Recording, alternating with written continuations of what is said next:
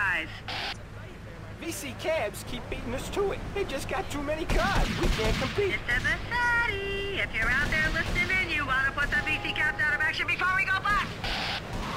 Something very informative. You're listening to Pressing Issues on Vice City Public Radio.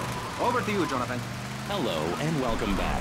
I'm Jonathan Freeloader and you're listening to VCPR. This portion of Pressing Issues is brought to you by Ammunation, a proud supporter of public radio and our community.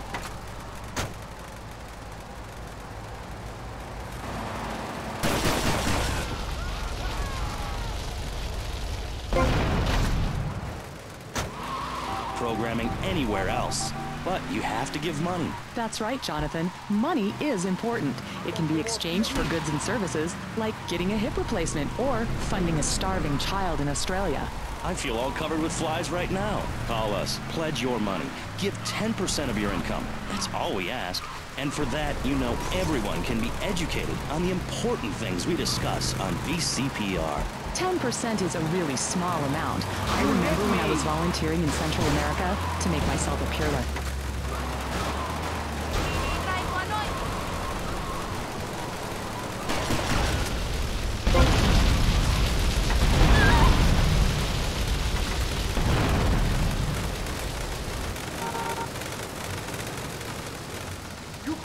双星